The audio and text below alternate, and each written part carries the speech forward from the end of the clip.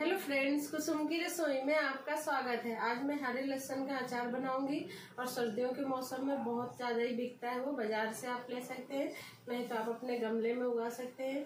और इसको बहुत टेस्टी लगता है और बहुत आसान है बनाना। तो चलिए फ्रेंड्स स्टार्ट करते हैं बनाना।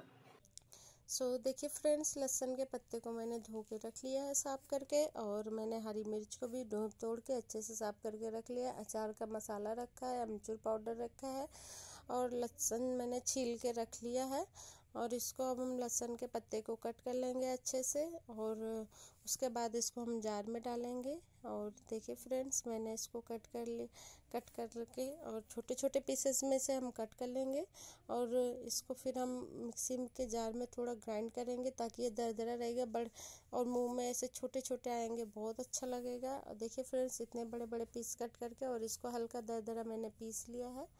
देखिए, हल्का दरदरा मैंने पीसा है इसे। ऐसे ही हम हरी मिर्च को भी पीस के रख लेंगे।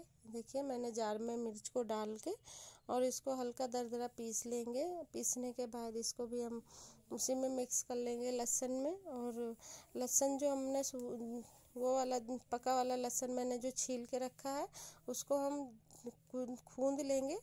कुटकुटा लेंगे और उसको छोटे बड़े बड़े पीसेस में थोड़ा छोटा छोटा, बड़ा रहेगा तो बहुत अच्छा लगेगा वो।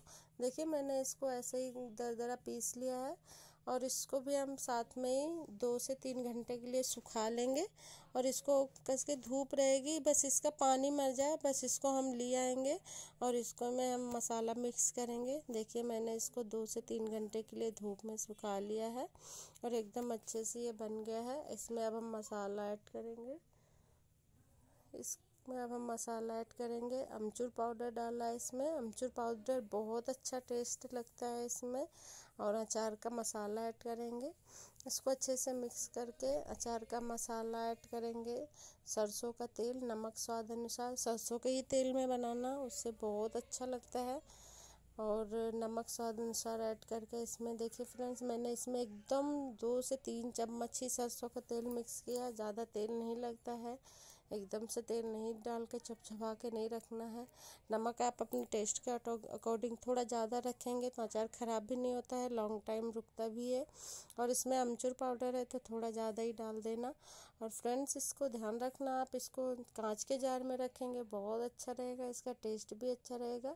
और इस, ये लॉन्ग टाइम चलेगा भी, इसको कांच के जार में रख के धूप आने पे इसको आप दिखा सकते हैं। और ये बहुत अच्छा है। और इसको सफ़र में दाल, चावल किसी के भी साथ खा सकते हैं। प्लीज़ रेडी है। वीडियो अच्छी लगे लाइक सब्सक्राइब शेयर करना मत भूलना। Thank you